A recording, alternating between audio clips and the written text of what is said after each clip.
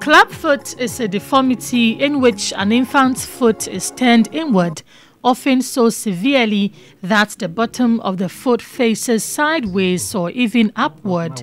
One infant in every thousand live births will have clubfoot.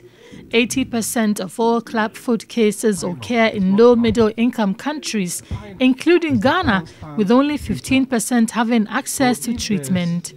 Though the cause of clubfoot is unknown, some risk factors have been identified, including family history, with secondary causes including genetic syndrome and neurologic conditions.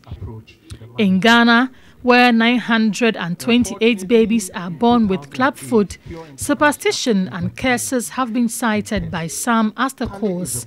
These experts say lead to neglect of treatment, thereby ruining the lives of children. Uh, through this program, we aim to educate parents on how to recognize the signs of clubfoot uh, and uh, encourage them to seek medical attention if they suspect their child that has the condition.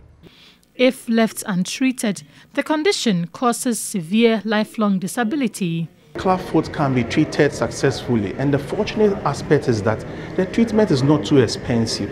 Right? If you put everything together, it doesn't exceed $400. That's for the entire treatment fees. Whereas if you leave it and the child develops and becomes a neglected clubfoot, then it comes with a lot of what expenses and also socioeconomic implications become there. Not to forget about the psychological impact on the child. The Korea Foundation for International Healthcare Global Alumni Ghana chapter has been creating awareness on clubfoot in Ghana. If a child is not able to stand, you obviously expect some delay in the developmental milestones.